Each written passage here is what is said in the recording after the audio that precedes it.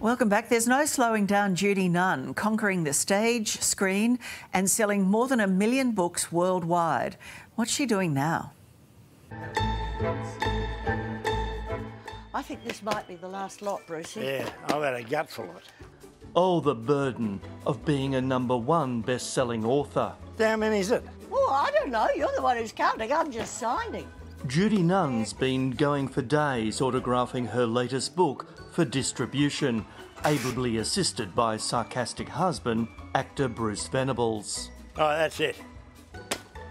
I've had enough. Showtime is about to hit the shelves.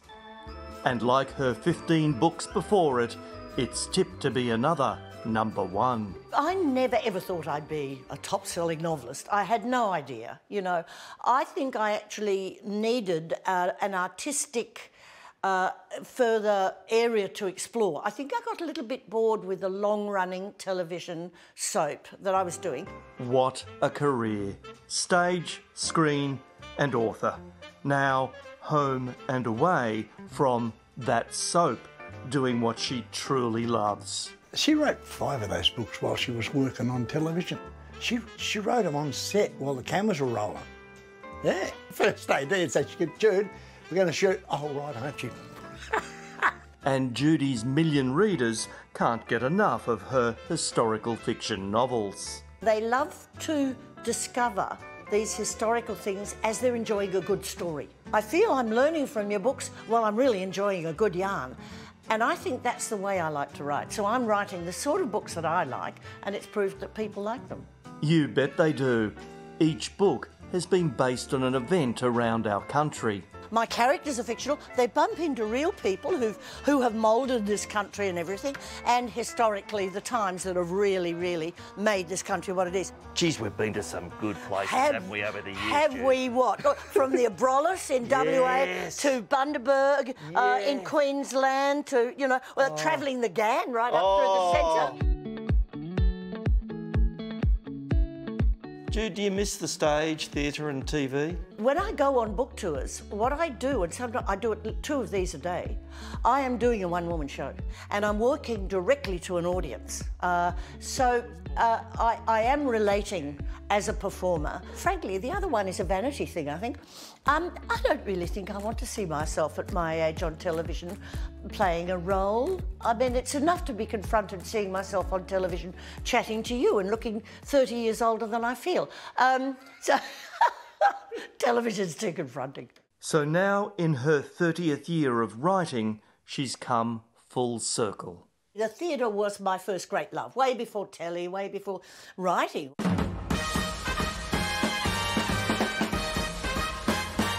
That was um, a, a, a production of The Summer of the 17th Doll. Showtime is back to her roots, taking us on a tour of Australia's historic theatres, including our oldest, the Theatre Royal in Hobart. And it does have a ghost. His name is Fred. Uh, now, my dear friend Jacki Weaver has seen Fred. I, I have played the, the, the Theatre Royal in Hobart twice. I'm afraid I haven't seen Fred. It's the vaudeville era, around the time of the Victorian gold rush, when the world descended on Down Under, looking to strike it rich. And where that those thousands of people gather, they're going to need entertainment. So the entrepreneurs very quickly followed.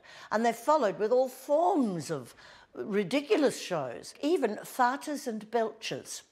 Yes, it's absolutely true. That was entertainment. Yes, my bloke, I've got him farting to uh, God Save the Queen, so everybody gives him a standing ovation. Uh, and there was also the bloke who could uh, belch to Strauss waltzes, so people would get up and waltz in the aisle. Thank God the theatre and TV came. But isn't that extraordinary to think of it? I think it's a job well done. Toast to that. Cheers. Each book sells more than the next. She really is a terrific woman. She's remarkable. She's very intelligent and she's talented. And Judy is genuinely grateful and amazed at that success. I can't understand how, but it's wonderful, isn't it? I tell you what, after all these years, And all these stories, are there any more left in you? How much longer does it go on for? Oh, Brady, I mean, look, uh, longevity runs in my family. I have, um, you know, my mum didn't uh, flit away until she was 97. I've got aunts who are 100. Oh, yeah, I think I've got a few more books left yet. Isn't she fabulous? Judy's book Showtime is out next week.